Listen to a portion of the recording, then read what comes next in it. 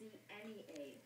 After saying they would not need assistance, Chile is now accepting help from the international community. The UN has sent satellite phones and have 30 tons of food at the ready. The United States is sending in field hospitals to help with the mass casualties. And Chileans living in northeast Wisconsin have been using everything cell phones, Skype, and Facebook to try and reach relatives. Tonight, Anjanette Levy spoke with a Green Bay man who finally reached his parent and pregnant daughter today. So, ¿Y quién me va a ir a recoger? Chile native J.C. Riquelme couldn't be more relieved. He's talking with his parents via Skype.